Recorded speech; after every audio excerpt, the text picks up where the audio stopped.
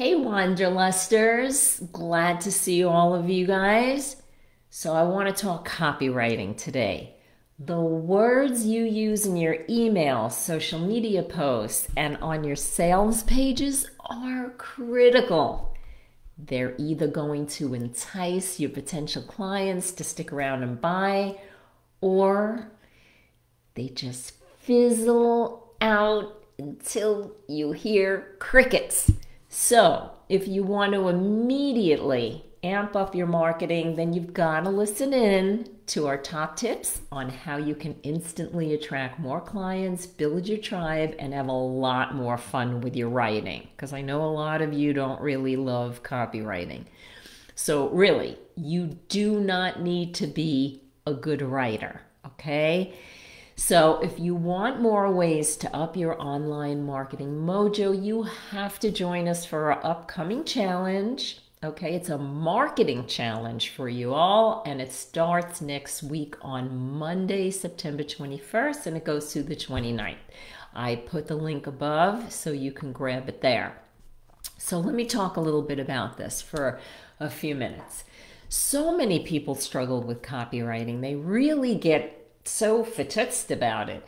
And uh, they have trouble expressing what they have in their heart, what they really want to say to their ideal clients. And it ends up coming out like they just can't express and get out what they really want to say. It's frustrating, I know, because I used to be that way.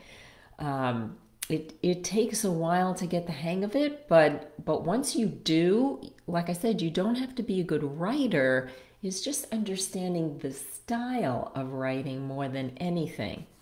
So what the biggest problem is is most of our heart-based entrepreneurs, they tend to focus more on speaking about themselves. So they are more what we call client centric um, excuse me, practitioner centric about them rather than about the client. That would be client centric. So, what does it mean to be practitioner centric?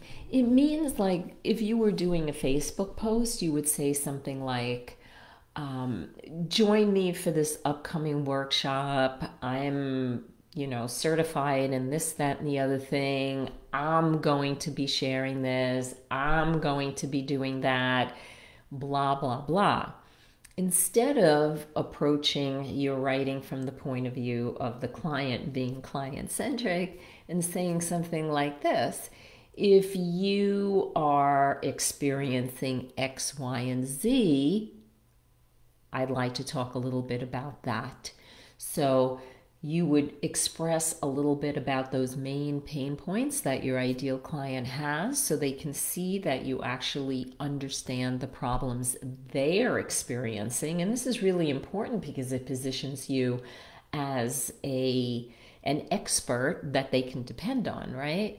Uh, if you don't do that and you just say i'm certified in this that comes across really really practic- practitioner centric it is like very egoic instead of really sharing what you know to help your clients and that way they can see you as an expert without you having to tell them you are. So that is really important. So focusing in on all of the needs and desires of your clients are key.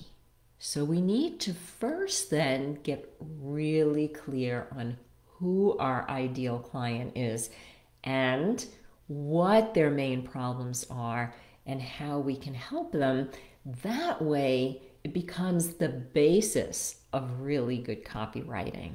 That is the most critical thing. And most of us, because we don't tend to love marketing, right? We tend to just do the things we like which is teaching, and don't concentrate really on our clients' wants and needs and how we can get so clear on them that we can express that in our marketing so they know right away we are the one to help them. So, um, one thing I think really helps in marketing because a lot of people have resistance to this and to copywriting, of course, is knowing that whether you are in the process of building your tribe or you have a tribe and you want to keep growing it, or you're in the middle of marketing a program or a product or a virtual treat, whatever it is, you really need to change your mind about the whole process of marketing. Okay? It's important to understand that marketing is an act of service. It's a sacred act of service because here's the thing if you don't get good at marketing and copywriting and expressing yourself in a way that your clients know you're the one for them, then they stay out there suffering because they can't find you.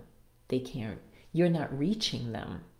And that's why I say marketing is a sacred act of service because you cannot service your clients if you cannot put yourself out there in a way that people can find you. Okay, so that is very, very, very important. That that's like the ground floor um, foundation for all of your marketing.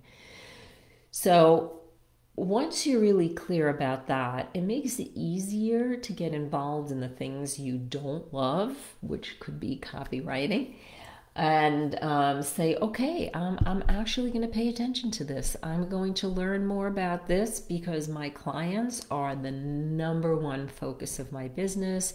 It's why I exist. It's what I'm here to do to help, to serve, to create transformation in the lives of others. And I'm going to put all of that heebie jeebie stuff I have around marketing aside. Okay, that's why we're doing this challenge. Okay, we want to get you loving marketing. And, you know, if you're out there, you know you have to build a list, you know you have to get better at copywriting. So we really would love for you to join us. You're going to learn a lot over the week together with us. So, when you are doing your copywriting, one of the most simple uh, suggestions I could give you is make sure always you're talking in your copywriting like you're talking to your best friend in a coffee shop. Because that's really how we talk to people, right? And for some reason, when we get to writing emails and doing marketing, we start talking like not like us. You know what I mean? It's like we would never talk like that in real life. So the whole idea is talking plain, plainly, like what I'm doing now, just like you and I are sitting having a cup of coffee together, right? That's the best way to do your marketing. So if you can picture one person that you would like to talk to and help and speak to them in that way, it's really going to make a shift in your copywriting. And of course, get real about the problems and issues that they're struggling with. When we are practitioner centric, we say things in our language rather than in the language that people use.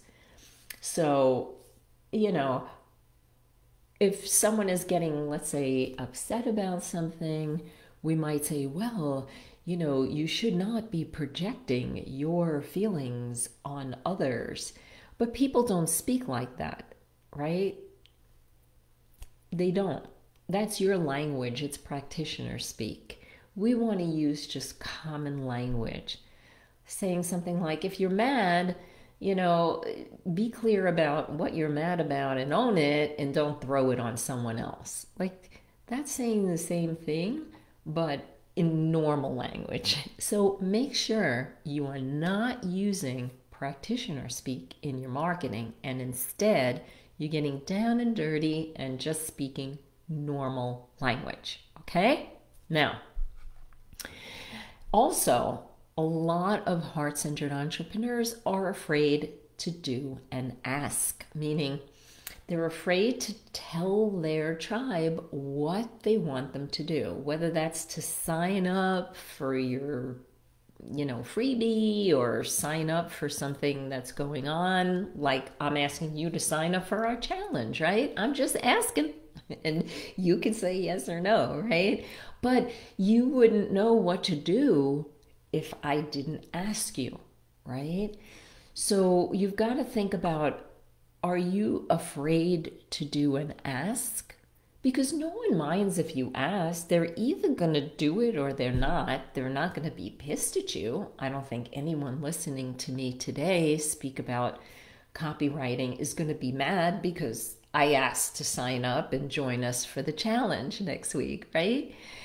So it's it's really important to just be clear on how you're communicating, come from the heart, make sure you really are clear that marketing is a sacred sacred act of service and that you don't have a business unless you're serving people. Like if I'm not serving and helping you, why the heck am I here? Right? Hopefully, these tips help. And if you want a ton more of tips, we are getting down and dirty for an entire week. We are going to be meeting in the Facebook group every single day for about an hour. We're going to give you stuff to do and you are really going to have a lot of clarity at the end of a week. If you've ever participated in one of our challenges before, you know how much fun it is and you know how we rock it. So I hope to see you there. Love you guys. And uh, yeah, put yourself out there and don't be afraid. Uh, if I can learn copywriting and I used to be a physician, so can you. Uh, it's not that hard. It's just really speaking from the heart. Okay, you guys, I'll see you in the challenge next week. Love you all. Bye.